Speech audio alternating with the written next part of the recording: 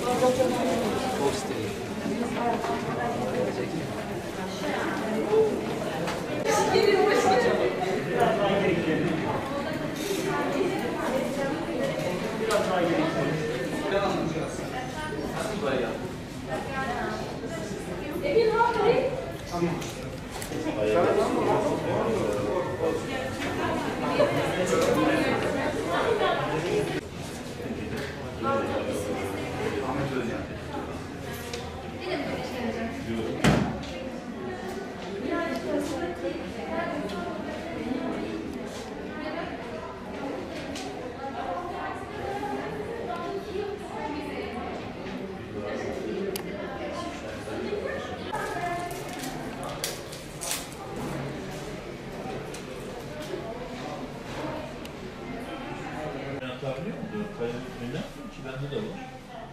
Ekran kartlarında sıkıntı oluyor.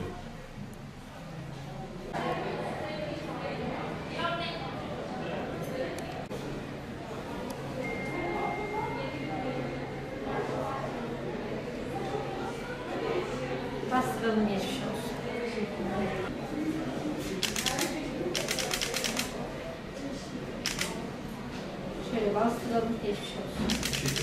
Pandemi süreci bildiğiniz gibi tüm dünyada olduğu gibi ülkemizde de devam etmekte. İlimizde bundan e, çok büyük bir oranda etkilenmekte. Sağlık çalışanları tüm özveriyle çalışmalarını sürdürmektedir. E, Çok yoruldu çalışanlarımız ama e, el birliğiyle bu pandeminin üstesinden geleceğimizi ümit ediyorum. Özellikle Kurban Bayramı'ndan önce vakalarda çok ciddi bir düşüş yaşamıştık. İlimizde yaklaşık 100 binde 50'lerin altına gelen rakam Kurban Bayramı'ndan sonra 10-15 gün geçti. E, bu süre içerisinde yaklaşık 100 binde 249'lara kadar yükseldi. 5 kat bir e, artış olduğunu görüyoruz.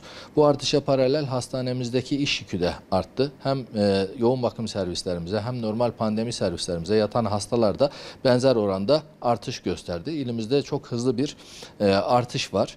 Bu e, hastaları e, dikkate aldığımızda, irdelediğimizde görüyoruz ki özellikle yoğun bakıma yatan hastalarımızın büyük bir çoğunluğunun aşılarını yaptırmamış kişilerden oluşturduğunu tespit ettik. Yine e, servise yatan hastalarımızın da büyük bir çoğunluğu aşılarını yaptırmamış kimseler. Aşılarını yaptırmış olan kişilerde de hastalık nadir de olsa görünüyor. Ancak şunu gördük ki aşılarını yaptırmış olan insanlar hastalığı çok daha rahat atlatıyorlar. Çok hafif semptomlarla geçiriyorlar. E, tüm e, ülkemizle birlikte ilimizdeki bu artış e, bizi tabii ki ürkütüyor ve korkutuyor. E, bu nedenle de özellikle buradan tekrar seslenmek istiyoruz. Lütfen e, COVID-19 için üretilmiş ve hizmetimize sunulmuş olan aşılarımızı özenle yaptıralım. Bunun için gayret gösterelim. Bugüne kadar aşılarını yaptırmamış e, Özellikle yaşlı popülasyonumuza tekrardan sesleniyorum. Yoğun bakımlarda e, zaman geçirmek ya da yoğun bakımlarda tedavi almak aşı yaptırmaktan çok çok çok çok daha zor. E, lütfen aşılarımızı olalım.